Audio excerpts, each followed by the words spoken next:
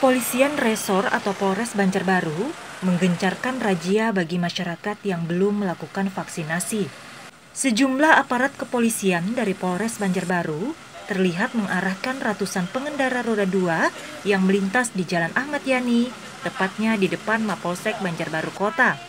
Selain memeriksa kelengkapan kendaraan, anggota polisi juga memeriksa warga yang belum melakukan vaksinasi. Bagi pengendara yang kedapatan belum melakukan vaksinasi, disarankan untuk melakukan vaksinasi di bus vaksinasi keliling.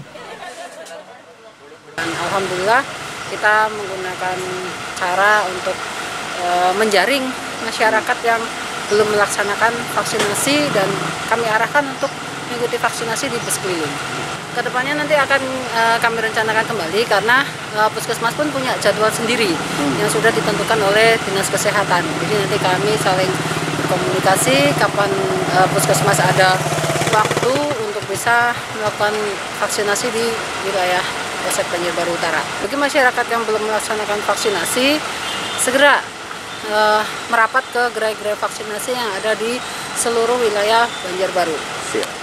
Giat penjaringan warga yang belum melakukan vaksinasi akan dilakukan secara terus-menerus oleh pihak kepolisian di wilayah hukum Polres Banjarbaru. Selain itu, warga juga diimbau untuk melakukan vaksinasi di seluruh gerai yang sudah disiapkan oleh pemerintah kota Banjarbaru sehingga Banjarbaru ke depannya bebas dari COVID-19. Dari kota Banjarbaru, Tim Liputan Banjarbaru TV melaporkan.